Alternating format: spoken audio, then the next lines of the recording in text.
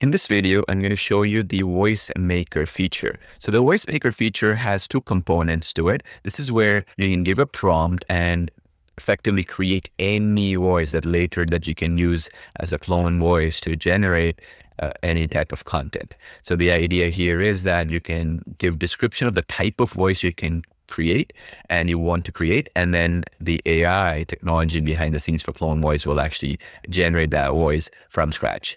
This will give you unlimited potential variations and creativity rather than just being stuck to a rigid or standard set of uh, voices, for example, like our system voices or basically any other text to speech uh, things that you've uh, worked with where there's a set uh, limit of the number of voices and the type of voices that you can create uh, because they're all standard. So there's two components here where number one, you have professional voice maker, and then you second, you have the creative voice maker. What is the difference between both? So as you can see in the descriptions, you can uh, have written down here. So professional voice maker is basically where you can generate human sounding professional voices using text prompts. Now, this is, for example, narration, conversational, promotional. So the idea here would be, let's say, for example, you want uh, a podcast host voice, or you want to have a, a news reporter voice, or you want to have, a, for example, a conversational style uh, voice, for instance, or a promotional, let's say a theatrical trailer type of voice where somebody's speaking uh, with a very husky voice, for example, right? So that kind of uh, thing where it's very human sounding. Okay.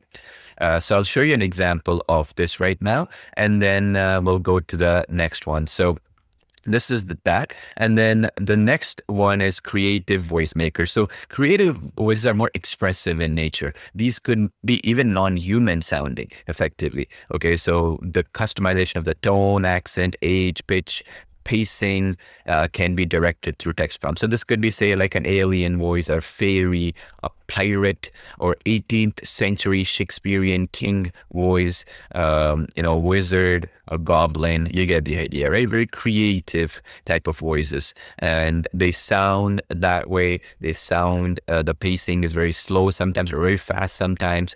Uh, it might sound very childish. Some might even call it unprofessional in a professional setting. But the point is they're creative in nature, very good for storytelling, very good for creating, uh, for specific videos with specific characters, for example, that you can use this uh, for.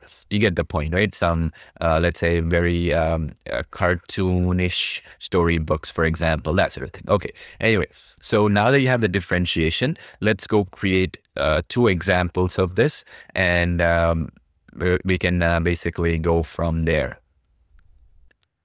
So the first thing is we can just use this uh, professional, start professional. I'll show you because it's very straightforward.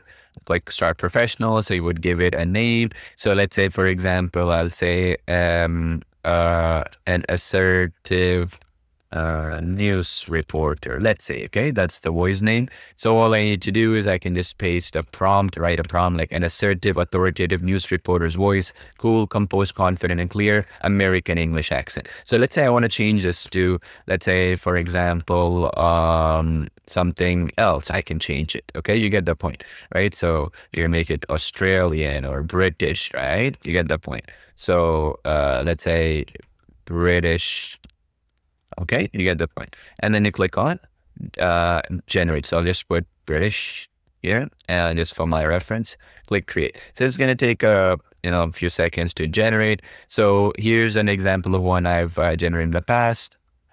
There we go. So let's just uh, play this. The scientist carefully adjusted the microscope, her steady hands guiding the delicate instrument as she prepared to examine the mysterious sample. So pretty cool, right? Very British uh, accent and uh, very uh, professional, human sounding. Because that's the key thing. The idea is that it sounds like a human. It basically you're looking for realism here okay? You're looking for that which sounds like a human being is speaking in a professional setting. Now in the case of uh, the other uh, direction which is the voice maker which is creative voice maker now we're really creating anything and everything you can imagine effectively. Uh, so you're going to more let's say whimsical style. You're trying to uh, create it for storytelling that sort of thing. So let's try that one. Let's go to create start um, here. So now here uh, the way it works is basically you can generate anything. So let's say, for example, I wanted to do, uh, let's say, teenage uh, female fairy. Okay. All right. So here you can make it short descriptions that are good enough, like uh, an old pirate voice, uh, a vampire voice and stuff, a mischievous teenage fairy, for example, right? And then click on preview creative voices. Okay. So, so what we basically do is we're analyzing your description to generate the best creative voices. So then what we will give you is we'll give you five options that uh, you can pick from because, you know, these are creative voices. Somebody might say this is not mischievous enough, right? Somebody might say this is way too mischievous in terms of speaking, uh, and you want to pick and choose. So let's pick, uh, let's play and see which one we like. Soft light warms my whiskers as I pad past the bakery. People hum and sip. I nose. So that was the first one. Let's see this one. Soft light warms my whiskers as I pad past the bakery. People hum. The second one. Soft light warms my whiskers as I pad past the bakery. People hum and sip. I nose crumb.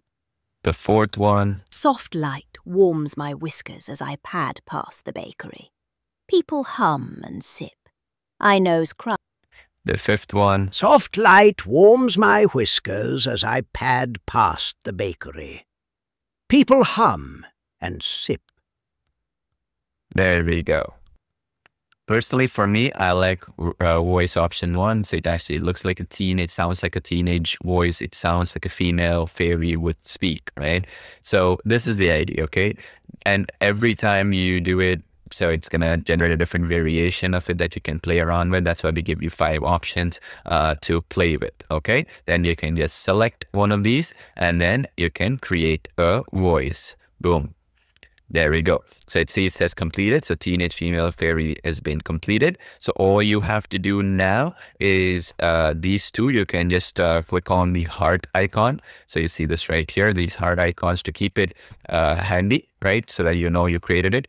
If you like it, if you're not as well, it's okay. What's going to happen is next time and every time going forward, when you go and you click on um, this create audio section, okay, you can then go in and you'll see these under the uh, design voice, which I'll show you. Create audio, okay? And then let's say we, want to do the fairy story, okay, or something, okay? Click on select voice, okay? Again, I'm showing you right now what I'm doing here, select voice. And then um, you click on that. And then here under, you see this section right here that you see, select category. Uh, and then it says system there. So basically, we're going to drop down here. And you see it says designed here. That's what we're clicking. Okay. So there we go. So you see here, uh, we have an, uh, uh, the actual tones here. So you can even search for it. So fairy, let's say, right? Teenage female fairy. There we go. The one I, I picked. And then boom, select it. And there we go. It shows up teenage female fairy and then um, we can just give it a script and just get started. So let's say, for example, we can then do children's storybooks, right? So a whimsical story of a teenage fairy uh, finding fortune. I don't know, something, right? Something that. And then it's just going to generate a story. And you can uh, go use ChatGPT or whatever you want to be able to uh, generate uh, the basic uh, storyline and then you can go click create and then again you can preview the first few lines to see if it's up to the uh, you know standards that you're looking for for example. Like so. It's gonna take a few seconds for the preview to load up. And then Pip was a young fairy, wings like shimmering dragonfly, there we go, right? So we saw the preview right now. If you're happy with it, now you just go click create a story, fairy story, and it's going to do that. And then you can go ahead uh, doing your thing, okay? And you can go do the same thing again with other stuff. So let's say we go back to the voice maker. Let's say we want to use a creative voice maker again. And this time I want to do it on up, up. Uh, say, let's say, for example, angry pirate, let's say, right? So you can just say an angry, uh, pirate, an angry old pirate, let's say, okay? And then again, it'll generate um, basically the best possible creative uh, voices and gives you a selection, as you can see here, like so. And you can pick the one you like. From this one, I personally like uh, option number two. The scent of fresh rain washes over a city at dawn. The world wakes in a hush. A slow way better, right? It actually looks angry and it matches my uh, what I'm looking for. Then I can just click on the create voice. And again, same process. Every time you go to create audio and then you go to select voice, go to system, uh, designed, there we go. We have our angry pirate voice. Okay. This is the reason why I suggest uh, to make it small and tiny than names, uh, because then you can easily search for them later on as well. You see, I have an assertive. It just got, um, you know, and news reported to as well. So just want to make sure that it's, you know, a little bit easy for you to remember and short and sweet because we may have hundreds of voices down the line here, right? Uh, down the line. So again, you choose angry pirate, whatever story you want to put uh, you want to generate it, you do it, or you want to type it in. Uh, let's say an angry pirate on his way to find treasure in the ocean, let's say, okay? And then you can say children's storybooks or whatever and then uh, you can generate the script. Again, same process as you are uh, very familiar with uh, so far, right? Very, very straightforward, very easy to use so far, as you can see. And it allows you to create any type of variations and uh, you can play around with it, as you can see. And then again, here we go, click create audio, and then you can add emotions to it or whatever if you want to, but it, since it's an already an angry uh, pirate, so we want to make sure that we keep it, let's say, okay? And then you can generate uh, the video, right? That's pretty much it in terms of uh, the voice maker feature. I know it sounds simple, but it allows you to create so many different variations, both on the professional voiceover maker side and the creative voice maker side. So go ahead and uh, use it to your heart's desire and create any type of voice you wish. That's pretty much it in terms of uh, the voice maker feature. I know it sounds simple, but it allows you to create so many different variations, both on the professional voiceover maker side and the creative voice maker side. So go ahead and uh, use it to your heart's desire and create any type of voice you wish.